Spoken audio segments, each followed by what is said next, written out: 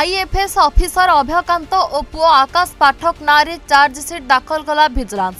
অভয়ঙ্ক নাঁরে ভুবনেশ্বর ভিজিলান্স কোর্টরে পাঁচ হাজার পৃষ্ঠার চার্জসিট দাখল হয়েছে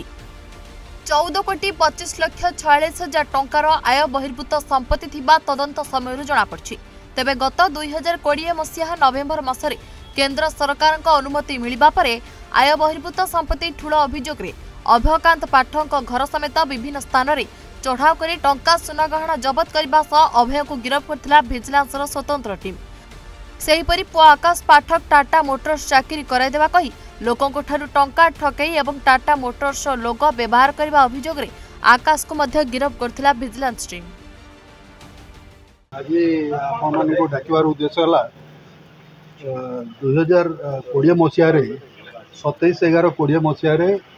ଶ୍ରୀ ଅଭୟକାନ୍ତ ପାଠକ ଆଇଏଫ୍ଏସ୍ ଓ ତାଙ୍କର ପୁଅ ଶ୍ରୀ ଆକାଶ କୁମାର ପାଠକଙ୍କ ନାଁରେ ଡିଏକେଏସ୍ ହିସାବ ବହିର୍ଭୂତ ସମ୍ପତ୍ତି କୂଳରେ ଅଭିଯୋଗରେ ଗୋଟେ କେସ୍ ରୁଜୁ ହୋଇଥିଲା ଭିଜିଲାନ୍ସ ସେଲ୍ରେ ଏହି କେସ୍ଟା ତଦନ୍ତ ସରିଲା ପରେ ଆଜି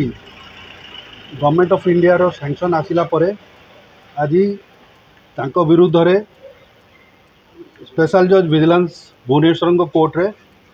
ପାଞ୍ଚ ହଜାର ପୃଷ୍ଠାର ଚାର୍ଜସିଟ୍ ଦାଖଲ କରାଯାଇଛି ଏହି ତଦନ୍ତ ସରିବା ପରେ ଆମେ ପାଇଲୁ ଯେ